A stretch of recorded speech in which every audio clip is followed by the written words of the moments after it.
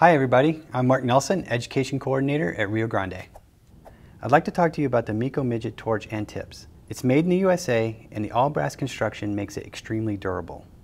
The MECO Midget is a lightweight compact torch that only weighs 6 ounces.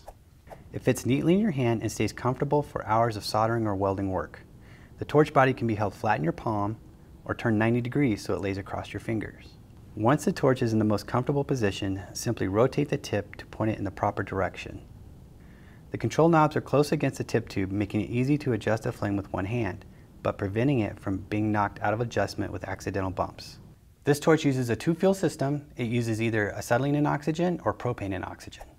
There are a few things to consider when choosing which fuel combination to use. Acetylene burns hotter, but propane burns cleaner and is easier to find. You can buy the MECO Midget as shown here with three different size tips included, a double aught tip, a zero tip, and a number three.